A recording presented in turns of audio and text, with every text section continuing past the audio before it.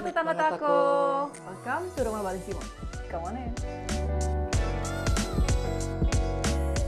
Nah, ini area living room rumah Balisimo di mana Bude sama Pade biasanya punya quality time banyak sama anak-anak untuk ngobrol kegiatan mereka sehari-hari seperti apa.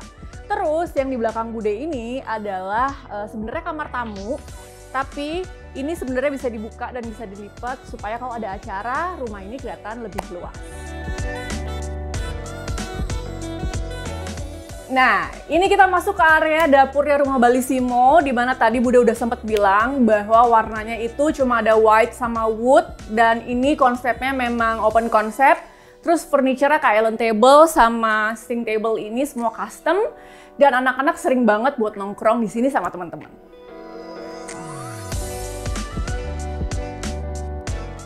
Nah, di sini adalah tempat rumah Balisimo, terutama Pade sama Bude bikin konten lebih banyaknya untuk detail shot sama produk review.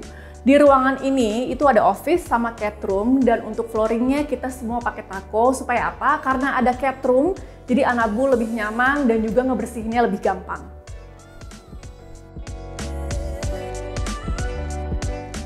Dan ini adalah master bedroom alias kamar utama yang Bude sama Pade bikin sedemikian rupa supaya kita berdua bisa super duper nyaman.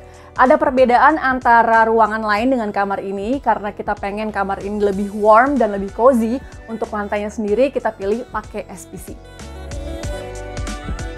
Terima kasih udah ikutin house tour rumah kita hari ini. Semoga tetangga Tako juga bisa terinspirasi dari rumah Balisimo.